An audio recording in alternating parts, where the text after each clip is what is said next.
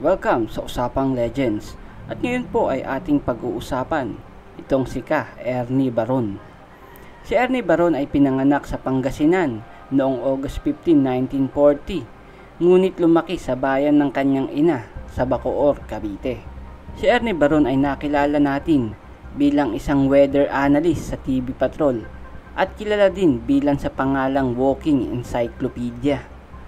Nag-aral itong si Ernie Baron ng BS Commerce sa FEU at galing din sa Arellano University at Jose Abad Santos para naman sa kanyang high school education.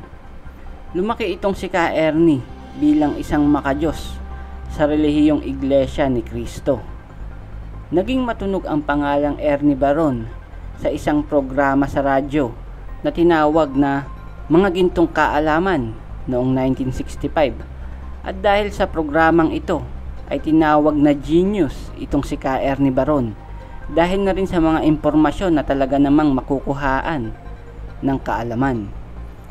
Noong 1987, pagkatapos ng rehimeng Marcos, ay nakagawa ng isang programang tinawag na Knowledge Power itong si Ernie Baron sa DZMM at kalaunan ay naging programa na rin sa telebisyon sa ABS-CBN.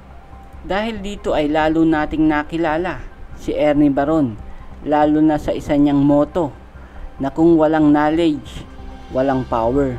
Bukod pa sa knowledge power, ay nakilala din itong si Ernie Baron bilang isang weather broadcaster sa TV Patrol. Si Baron ay mahilig din sa mga herbal medicine at cleansing diet na lagi niyang pinopromote sa radyo at telebisyon. At dahil dito ay minsan na rin siyang kinainisan ng mga doktor. Bukod pa sa herbal plants, ay kilala din itong si Ernie Baron bilang isang inventor ng isang antena na tinawag na Baron Super Antenna na naging mabenta noong hindi pa naiimbento ang black box.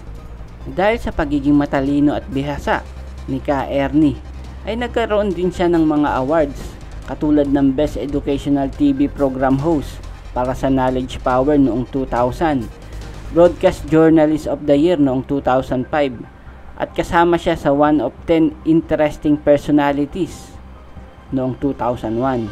At dahil na rin sa kasikatan, ay minsan na rin lumabas sa movie na Pera o Bayong itong si Ka Ernie. January 23, 2006 naman, ayon sa kanyang anak ay tinatawag niya daw ang kanyang itay na si Ernie Baron para kumain ng almusal. Ngunit hindi po ito sumasagot. Agad namang isinugod itong si Ka Ernie sa Muntinlupa Medical Center ngunit hindi na rin ito umabot. Ayon sa mga doktor, ay namatay itong si Ka Ernie Baron dahil sa isang silent myocardial infarction o atake sa puso. Namatay si Ka Ernie sa edad na 65 at inilibing sa Angelus Memorial Garden na matatagpuan sa Bacoor, Cavite. Si Ernie Baron ay naiwan ng kanyang asawa at isang anak na babae. So yan lang po ang usapang legends natin sa ngayon. Kung gusto mo pa ng mga kwentong katulad nito, ay huwag kalimutang mag-subscribe. Salamat!